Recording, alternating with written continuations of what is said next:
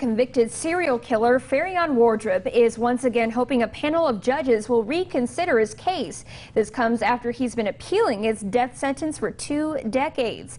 Last month, the Fifth Circuit Court of Appeals flipped the federal district court's decision to grant Wardrip a new punishment trial.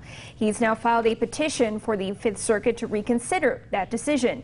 He, his only recourse, if a judge or panel of judges decline a review, would be the Supreme Court. Wardrip pleaded guilty to killing Tina Kimbrough in 1986. Then he was convicted in 1999 for the stabbing, murder, and rape of 20-year-old Terry Sims. It was DNA that finally enabled Wichita County investigators to link Wardrip to a 16-month killing spree that left five young women dead. In 1999, Wardrip was sentenced to death by lethal injection for the murder of Sims and three life terms for killing Toni Gibbs, Ellen Blau, and Deborah Taylor. He is now 61.